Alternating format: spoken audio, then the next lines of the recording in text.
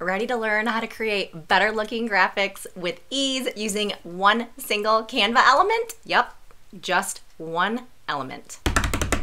Drum roll, please. Let me introduce to you one of my all time favorite, most used Canva design elements, the transparent gradient. I use this element in so many of the graphics that I create to market my business, and I am constantly telling everybody about it. It's basically one of Canva's best kept secrets. And in this video, I'm showing you how to add and manipulate eye-catching designer level gradient fades to your designs so you can level up your graphics, look professional, all while making designing easier. Welcome back to my channel. If you're new here, my name's Kristin and I share branding and graphic design tips, tricks, tutorials, and productivity hacks for online entrepreneurs who don't have tons of time to waste in Canva. I used to only be able to achieve this look in my fancy Adobe design software, but have since fallen head over heels in love with Canva. And this element played a huge role in my breakup. Not only am I going to show you how to create this fun fading gradient technique, but I'm also going to show you some examples of how you can actually use this in your graphics so that you you can look professional online. Let's pop over to my Canva account so I can show you how to level up your graphics with the single most magical element that Canva has to offer. The great thing about this is that you can use this technique in any graphic that you're creating to market your business from Pinterest pins, social media posts, YouTube thumbnails, website graphics,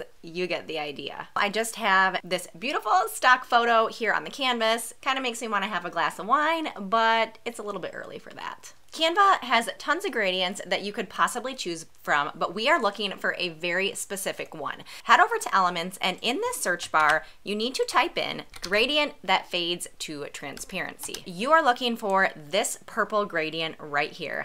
Do yourself a favor, and when you locate this gradient, be sure to either star it or add it to a folder so you know exactly where it is every time you want to use it. I have a specific folder in my brand folder called Design Elements, and that's where my gradient lives. Anytime I need to find it, all I do is pop over to that folder, click, and boom, it's there on my canvas. There are a few things that I absolutely love about this specific gradient. This gradient fades to transparency. And what I mean by transparency is that you can still see the background image popping through the element. Many of the gradients that you'll find in Canva do not offer this, and that's why you need to find and use this specific one. You can also change the color of this gradient most likely you are not going for the purple look and you'll probably want to change this gradient to either white, one of your brand colors, or maybe even pull a color from your stock photo. I've changed it to white and here you can see now I have a smooth fading gradient over my image. You can then select both your gradient and your background image and move it around to create as much or as little white space as you need.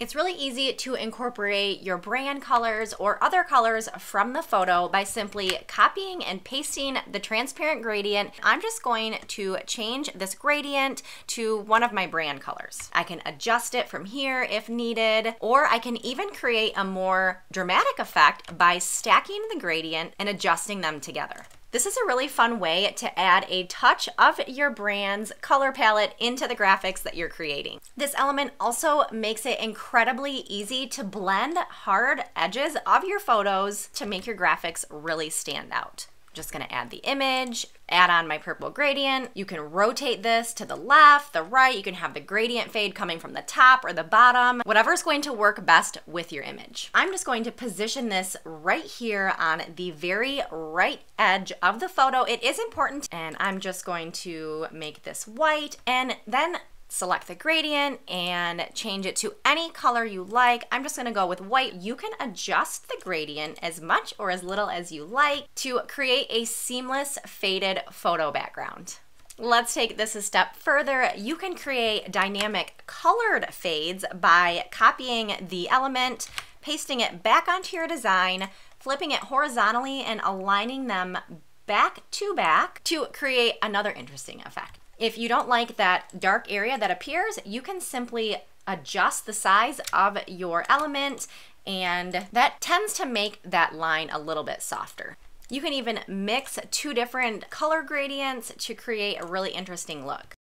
Sometimes I just add it for a fun design effect or to infuse my brand colors into the stock photos that I'm working with. I even paired this element with a color overlay. Just add a rectangle to my stock photo background, drop the transparency of that, and that also creates a really interesting look. Let me show you some ways that I have used this element in some of the graphics that I've created. This is a promotional graphic and I use the transparent gradient by overlaying it in one of my brand colors on a solid color background. I've also used the gradient in things like Instagram carousels. Now this is a really subtle example, but each of these slides has a transparent gradient bumped up to each other that creates a really like wavy effect. And I think that's really cool. I'm always loading up my email marketing with graphics since I'm a graphics girl. So I jazz up my graphics and make them a little bit less bland by adding a light transparent gradient to some of the edges. I wasn't so keen on this bright pink background, so I added a simple gradient just to give it a little bit more dimension. I've done the double-sided gradient trick in this blog post featured image. I have one of my brand colors as the background, drop the transparency on that a little bit so you can see the stock photo peeking through, and then I've rounded it out with one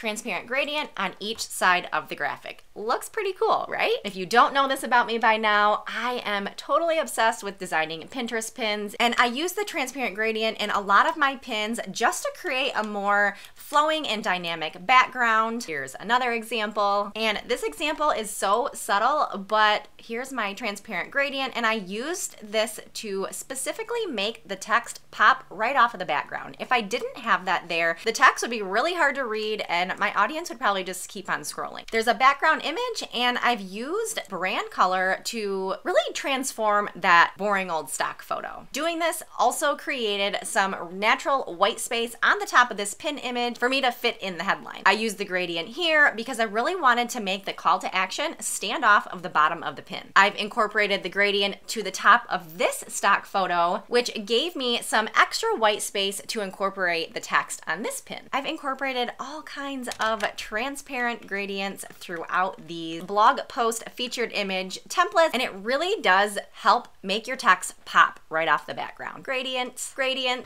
and more gradients. In this YouTube thumbnail, I have stacked side by side gradients just to infuse my brand a little bit more and make sure that this text is readable on that busy background. There are so many ways that you can use this element to level up your graphics. I encourage you to get creative with gradient that fades to transparency element. If you found this tutorial helpful, be sure to let me know in the comments. I'd love to hear how you are going to incorporate gradients into your graphics graphics. And before you go, don't forget to subscribe to my channel because I have all kinds of branding, graphic design, and Canva goodies up my sleeve ready to share with you. I can't wait to see what you create.